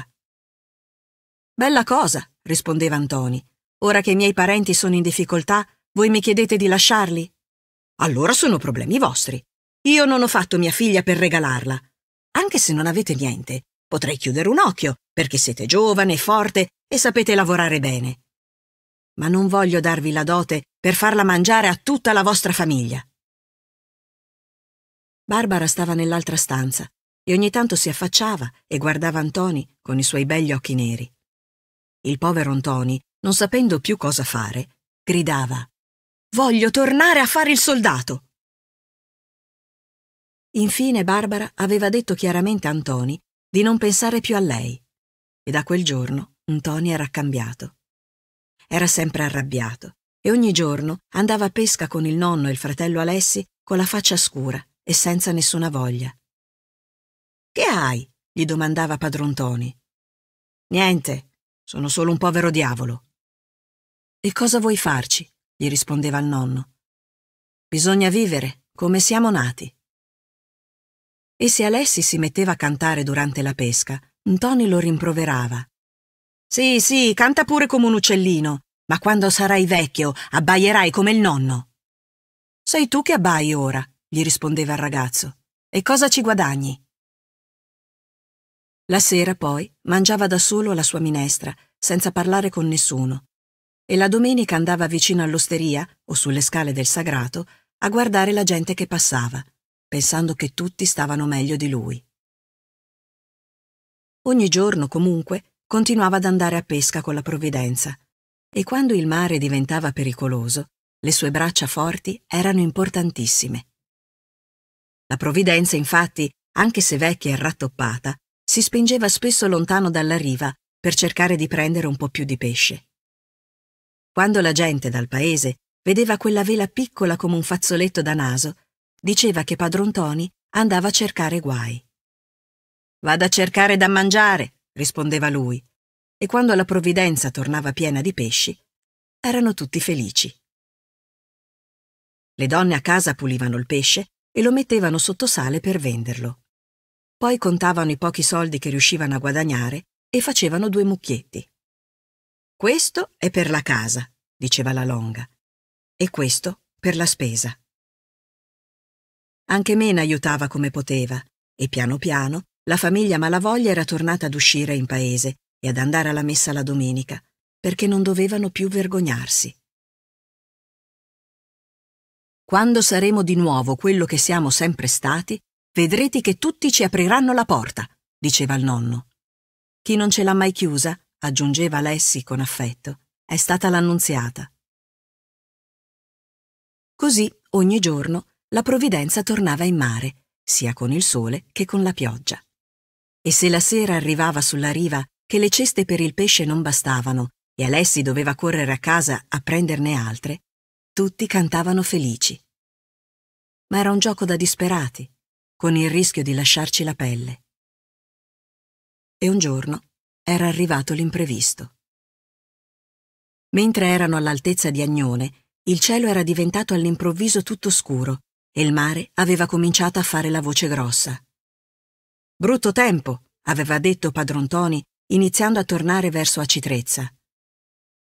A quest'ora dovrebbero accendere il faro di Catania, diceva Antoni che non vedeva niente. Tieni bene il timone, raccomandava il nonno ad Alessi, mentre le onde si facevano sempre più grandi e il vento soffiava più forte. Ad un tratto era arrivata un'onda grandissima che stava per rovesciare la provvidenza. Taglia la vela, taglia la vela! Aveva urlato il nonno Antoni, che intanto era salito in cima all'albero per fare da contrappeso. Taglia! continuava ad urlare padron Toni. Ma come faremo poi a tornare a riva? aveva chiesto Antoni con il coltello tra i denti. La vela alla fine era caduta dentro la barca che improvvisamente era tornata in equilibrio, continuando a saltare sopra le onde. Alessi piangeva perché aveva paura, mentre Antoni e il nonno avevano cominciato a remare e cercavano di raggiungere la riva. Non si vedeva niente, perché il mare e il vento fischiavano con una forza terribile.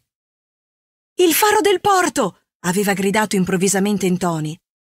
Non è il faro, aveva risposto padron Ntoni. Stiamo andando sugli scogli. Gira, gira!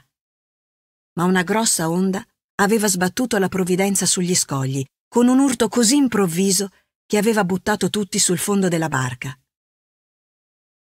La provvidenza, ormai tutta sfasciata, stava per scivolare di nuovo in mezzo all'acqua, quando avevano sentito delle voci dalla spiaggia. Tenete, prendete, tirate forte! E insieme avevano visto delle corde arrivare verso di loro. Ntoni aveva tirato con tutta la forza che aveva in corpo, finché la barca era arrivata sulla riva. Insieme ad Alessi erano scesi subito, ma non trovavano più il nonno. Nonno! Padron Toni! Gridavano tutti insieme, finché non lo avevano visto sdraiato sul fondo della provvidenza, immobile. Padron Toni aveva riaperto gli occhi dopo un po' di tempo e Don Michele e gli altri, che erano arrivati in aiuto, lo avevano portato in paese sdraiato su una scala, tra la curiosità della gente e le urla della longa e di tutti i nipoti. Per due giorni era stato sul punto di morire, tanto che avevano chiamato anche il prete. Tutto sembrava finito per i malavoglia, ma il nonno, piano piano, si era ripreso ed erano persino riusciti ad aggiustare ancora una volta la provvidenza, anche se adesso sembrava veramente una vecchia ciabatta. Quello che non si era ripreso era Antoni. Barbara la Zuppidda aveva cominciato a fare gli occhi dolci a Don Michele, dopo che, si diceva, era diventato un eroe. Don Michele si è buttato in acqua con quel mare grosso per tirare fuori la provvidenza e tre persone, andava strillando Piedipapera. È stato sul punto di morire anche lui. Se gli daranno la medaglia, se la merita proprio, aggiungevano altri. Così, la domenica, quando usciva con la divisa tirata al lucido, gli occhi delle ragazze erano tutti per Don Michele. Ntoni, mentre aspettavano che la provvidenza fosse aggiustata, andava all'osteria tutti i giorni ed era diventato amico di Rocco Spatu. E anche se le cose ricominciavano ad andare bene ora per i malavoglia, continuava a dire che non era contento e che voleva andare via dal paese. Capitolo 8 La morte della longa Una volta Antoni, mentre andava in giro per il paese, aveva visto due ragazzi che qualche anno prima erano partiti per cercare fortuna lontano. Adesso erano ritornati e avevano tanti soldi da spendere e tutti li ammiravano, soprattutto le ragazze. Così, la sera, era tornato a casa pensieroso. Aveva visto il nonno raccontare le favole ai bambini e le donne rimettere a posto tutte le cose. Voglio andare a cercare fortuna lontano, aveva detto. Ma il nonno gli aveva risposto che c'era il pesce da salare e che non doveva pensare a queste sciocchezze. Ma lui insisteva e parlava di quei ragazzi tornati pieni di soldi. Anche il nonno di padron Cipolla è andato via ed è diventato ricco, gli rispondeva padron Toni. Ma non è più tornato. Ha mandato i soldi alla famiglia, ma è morto lontano da casa. Beato l'uccello che fa il nido al suo paesello, aveva aggiunto Mena tra il sorriso di tutti. Ntoni allora se n'era andato arrabbiato, ripetendo Sono un povero diavolo, sono un povero diavolo. Ogni mattina andava al lavoro senza voglia e brontolava. Sono come l'asino di compare Alfio. Lavoro e bastonate per un piatto di minestra. Voglio diventare ricco. E la sera, mentre tutti si divertivano nel cortile, lui se ne andava in giro da solo per il paese. Un giorno, la longa, con gli occhi pieni di lacrime, lo aveva preso da una parte. Cos'hai, figlio mio? Voglio partire, mamma. Voglio diventare ricco. Ma se parti, che penserai ai tuoi fratelli? Il nonno è ormai tutto curvo e anch'io sono vecchia e stanca. Tornerò presto, mamma. Voglio fare i soldi anche per tutti voi, per non avere più problemi. Ma perché? Pensi che avere denaro voglia dire non avere problemi? Guarda padron Cipolla, che corre dietro al figlio Brasi che butta via tutto quello che lui ha guadagnato. E zio Crocifisso, sempre a litigare con questo e con quello. E Massaro Filippo. È tanto ricco e sta sempre a guardare il cielo e recita l'Ave Maria ad ogni nuvola che passa sopra la sua vigna. E i due marinai? Pensi che non abbiano problemi? Chissà se, tornando a casa, troveranno ancora le loro mamme. Quando avremo ricomprato la casa del Nespolo, avremo maritato Mena e avremo un po' di fave per l'inverno. Cosa più ci mancherà? Un giorno il povero nonno ed io moriremo. Allora potrai andartene dove vuoi, ma non avrai il coraggio di lasciare il paese dove sei nato e cresciuto. Ntoni, da quel giorno, aveva smesso di parlare di partenze e ricchezze per non dare dolore alla mamma, ma non sapeva che a lasciarli sarebbe stata proprio lei. A Catania c'era il colera e tutti scappavano nei paesi e nelle campagne vicine. Anche a Trezza era arrivata molta gente e la Longa, mentre gli uomini erano in mare, andava a vendere le uova e il pane fresco per le case dei forestieri. Ma bisognava stare attenti ai cattivi incontri, a non accettare niente da nessuno e a non toccare niente, per non prendere il colera. Un giorno, tornando da Aci Castello con la cesta in braccio, la Longa era stanca e si era seduta a riposare due minuti sulle pietre lisce vicino alla chiesetta che sta all'ingresso del paese. Non aveva visto che prima di lei un poveraccio si era seduto proprio lì e aveva lasciato delle gocce che assomigliavano a olio. Insomma, aveva preso il colera. Arrivata a casa era gialla in viso, con due grandi cerchi neri intorno agli occhi, e Mena continuava a ripetere Oh Vergine Santa, oh Madonna mia! Anche padron Toni, tornando dal mare con i nipoti e vedendo la porta socchiusa, aveva iniziato a urlare disperato. Aveva trovato la longa distesa sul letto, con le labbra nere come il carbone. Voleva chiamare subito il medico o il farmacista, ma a quell'ora tutti avevano già chiuso porte e finestre per la paura. Così la longa era morta dopo una notte passata vicino a tutti i suoi figli che piangevano disperati. E nessuno era venuto a fare la visita del morto per paura del colera. Perfino don Giammaria era rimasto sulla porta per spruzzare l'acqua santa, tenendo ben sollevato il saio francescano. Poi l'avevano portata via. Per molti giorni i malavoglia non avevano aperto la porta a nessuno ed avevano mangiato le fave e l'olio che avevano in casa. Anche nel paese nessuno usciva più, perché la Longa era stata una delle prime malate ed ora tutti avevano paura del colera. Solo don Michele, il brigadiere, camminava per strada e passando davanti alla porta dei Malavoglia guardava attento la Mena, tutta vestita di nero, che sembrava veramente Sant'Agata. E Lia, che ormai cominciava a diventare una bella ragazza. Intanto, durante il colera, i malavoglia avevano speso i pochi soldi risparmiati per la casa e Ntoni aveva ricominciato a dire che voleva andarsene, che non valeva la pena fare quella vita lì. Ma non ti ricordi le promesse fatte a tua mamma prima di morire? gli aveva detto padron Toni per convincerla a restare. Che aiuto posso darvi qui? Meglio partire e tornare quando sarò ricco, allora sì che potrò aiutarvi e sotto gli occhi stupiti dei fratelli aveva raccolto le sue poche cose ed era partito. Mena, mentre lo accompagnava verso la porta, pensava ad Alfio Mosca. Anche lui era partito per andare lontano e non lo aveva più rivisto.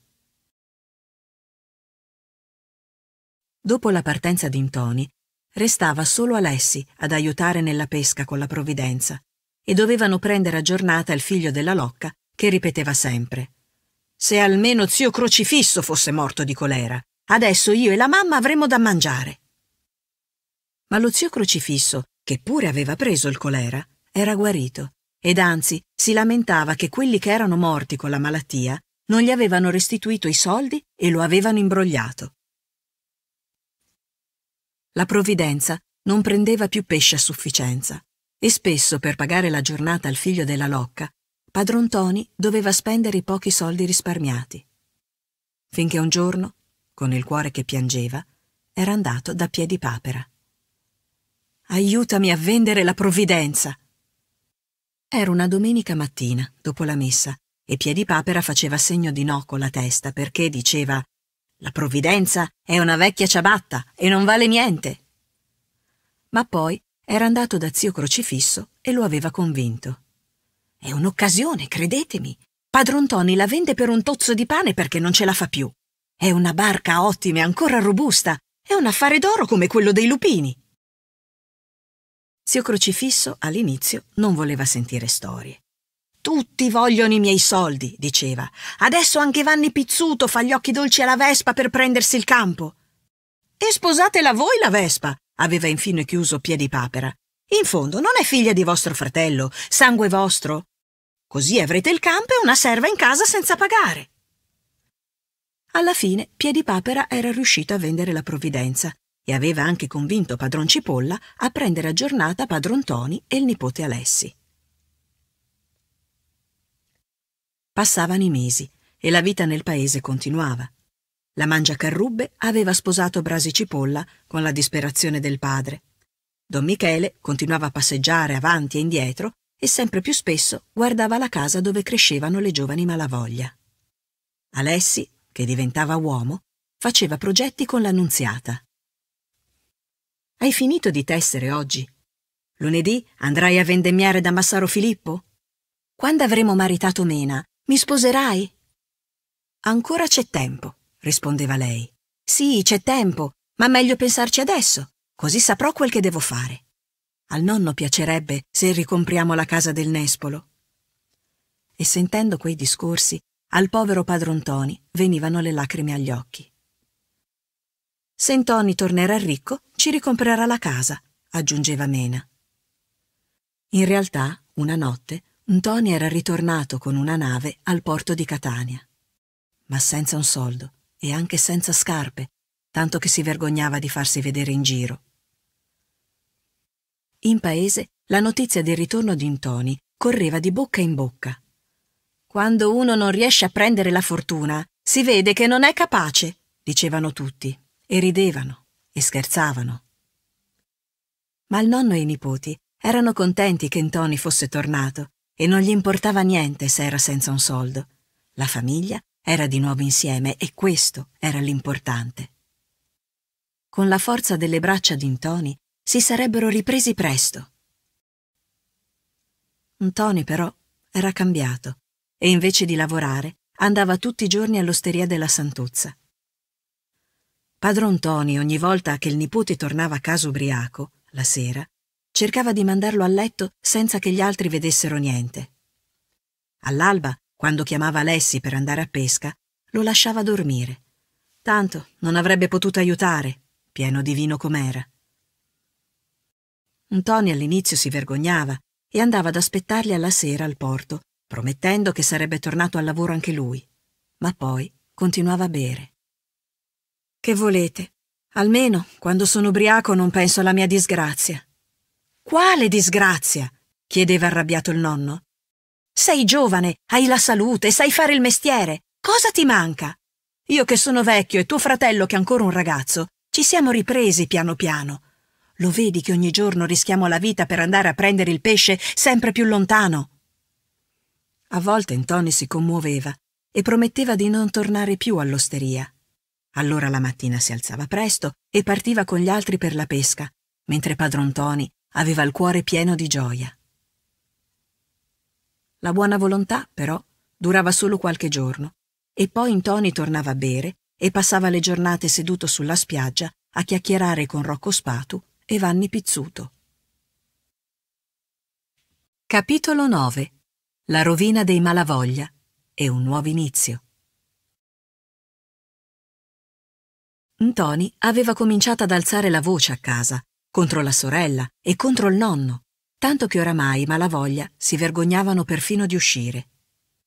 Ntoni, per non vedere le facce triste di padron Toni, Mena e Lia, spesso si fermava a dormire all'osteria, dove la Santuzza gli dava i resti del cibo che i clienti lasciavano nei piatti e con quelli del vino gli riempiva il bicchiere. Era diventato un vagabondo. Faceva pugni con chi incontrava e passava il tempo a parlare con Don Franco, il farmacista, che gli metteva in testa idee rivoluzionarie. Bisogna liberarsi di quelli con il cappello e il distintivo, gli diceva quando passava Don Michele. Bisogna fare la rivoluzione. Ntoni non aveva mai avuto simpatie per Don Michele il brigadiere, sia perché correva dietro a Barbara la Zuppidda dopo che lei lo aveva cacciato via, sia perché girava sempre intorno alla Santuzza. Se vuole ammazzare Don Michele, chiacchierava Piedipapera di qua e di là, dovrebbe farlo anche per altro, che gli vuol prendere la sorella. Infatti, Don Michele, con la pistola nella cintura e i baffi sempre a posto, passeggiava spesso per la strada del Nero, davanti alla casa delle sorelle Malavoglia. Lia era diventata una bella ragazza e se Mena le diceva di rientrare in casa, che non stava bene rimanere sulla porta quando passavano gli uomini, rispondeva scocciata. Hai paura che qualcuno mi mangi? Tanto nessuno ci vuole, ora che non abbiamo niente. Non lo vedi com'è finito nostro fratello? Non lo vogliono nemmeno i cani. Come siete bella, comare Lia, con quel fazzoletto, le diceva don Michele, e tutta la gente cominciava a fare pettegolezzi. Ntoni, intanto, continuava a non fare niente. O peggio. La notte dopo il matrimonio di zio Crocifisso con la Vespa, aveva organizzato una serenata con tutte le persone che avevano debiti con l'usuraio. Pentole rotte, campanacci, tamburi, una gran confusione fino a mezzanotte, e il giorno dopo tutti ne parlavano. Tutti ridevano anche del vestito da sposo dello zio Crocifisso e delle sue continue discussioni con la nuova moglie. Vuoi rovinarmi? Perché spendi tutti questi soldi? Non posso sempre chiederti l'elemosina per un fazzoletto nuovo o un tozzo di pane. Era meglio se non mi sposavo e mi tenevo il campo. Piedipapera parlava ogni giorno con Toni, cercando di metterlo contro Don Michele per essere libero nei suoi affari di contrabbando. Anche zio Santoro cercava di convincere sua figlia Santuzza a mandare via Antoni dall'osteria, perché se Don Michele continuava a controllarli, non potevano portare dentro il vino di contrabbando di Massaro Filippo e perdevano i clienti. Un giorno, Don Michele, passando davanti alla casa delle Malavoglia, era entrato per regalare un fazzoletto di seta a Lia. Davanti alle sorelle spaventate perché avevano un uomo in casa, aveva detto Dovete accettare questo regalo, comare Lia, perché vi voglio bene. Cosa fa vostro fratello Ntoni insieme con Cinghia Lenta e Rocco Spato giù alla spiaggia di sera. Vostro fratello potrebbe finire in carcere. Tenetelo in casa. Vogliono catturare quelli che fanno il contrabbando. Vostro fratello si fida di Piedipapera, ma non sa che Piedipapera tradisce facilmente per soldi. E davanti alle sorelle che avevano gli occhi pieni di lacrime, aveva aggiunto Vedete che vi voglio bene? Vi dico queste cose rischiando il mio lavoro. Mena aveva deciso di non dire niente al nonno per non dargli un nuovo dolore e appena Antonio era rientrato gli aveva parlato per convincerlo a non uscire.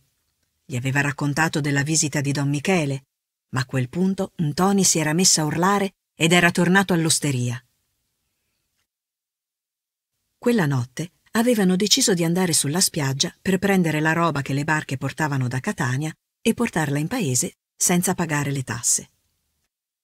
Pioveva molto e per prendere forza Ntoni aveva bevuto più del solito e urlava che se incontrava Don Michele gli faceva vedere lui cosa vuol dire avere coraggio. E il coraggio era arrivato. Erano in quattro.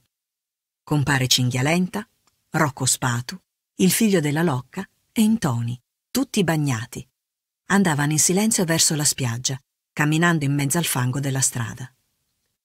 Il figlio della Locca piangeva per la paura e diceva Ma dove andiamo? Con questo brutto tempo non ci sarà nessuna barca. Rocco Spatu però era sicuro. Era venuto un uomo da Catania e gli aveva detto che la roba sarebbe arrivata quella sera. Scendevano piano gli scogli quando una voce li aveva gelati. Chi va là? Fermi! Fermi tutti! Tradimento! avevano gridato i quattro, scappando come potevano. Ma Ntoni, scavalcando il muro, si era trovato davanti proprio Don Michele con la pistola. e mentre Don Michele sparava in aria, Ntoni aveva preso il coltello e lo aveva attaccato. A quel punto si erano sentiti spari, urla e rumore del mare e della pioggia, in una gran confusione.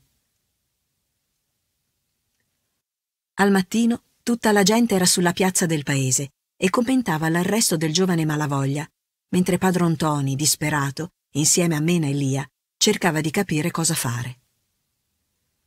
Ricominciava così la lunga processione per andare allo studio dell'avvocato e per andare al carcere di Catania dove era prigioniero Ntoni, mentre i soldi risparmiati per ricomprare la casa del Nespolo se ne andavano. Fortunatamente la ferita di Don Michele non era troppo grave e secondo l'avvocato era possibile evitare il carcere a vita per Ntoni, anche perché aveva un piano sicuro. Il giorno dell'udienza, infatti, aveva chiamato a testimoniare tante persone di Acitrezza e tutti avevano detto che Don Michele passava anche troppo spesso davanti alla casa delle Malavoglia.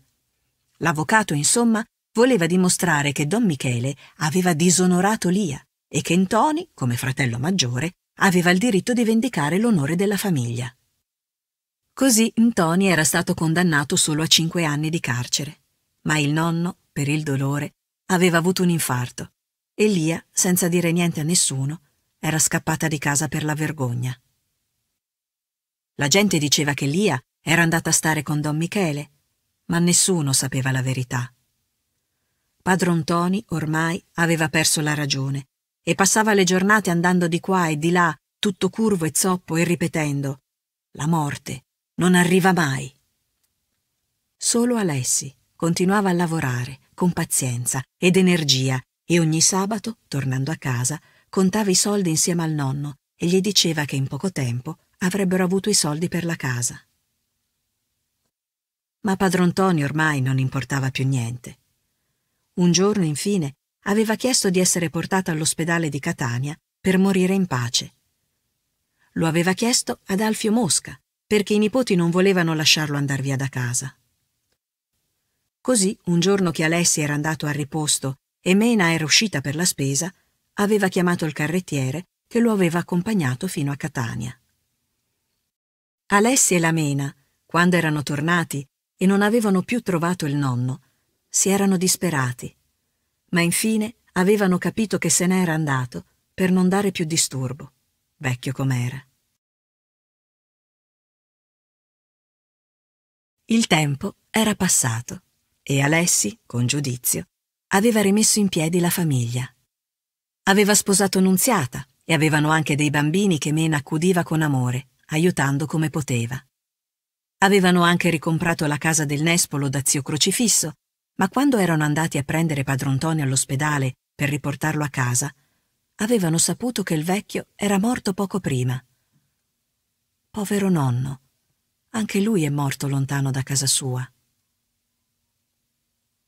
Una sera, tardi, il cane abbaiava nel cortile e Alessi, che era andato ad aprire, non aveva riconosciuto subito chi era alla porta. Era tornato Ntoni, con un fagotto sotto braccio coperto di polvere e con la barba lunga. Si era seduto in un angolo e gli altri quasi non osavano fargli festa. Non sembrava più lui. Guardava le pareti come se non riconoscesse la casa dove era nato e cresciuto. Gli avevano offerto una minestra e lui l'aveva mangiata in silenzio. Poi si era alzato e mentre stava uscendo, Alessi aveva trovato il coraggio di chiedere Te ne vai? Sì, aveva risposto. E dove? Non lo so. Sono venuto per vedervi, ma non posso restare qui. Tutti mi conoscono. Ecco perché sono venuto di sera tardi. Andrò lontano, dove nessuno sa chi sono, e potrò trovare un lavoro. Poi, mentre era già nel cortile, vicino al nespolo, si era girato.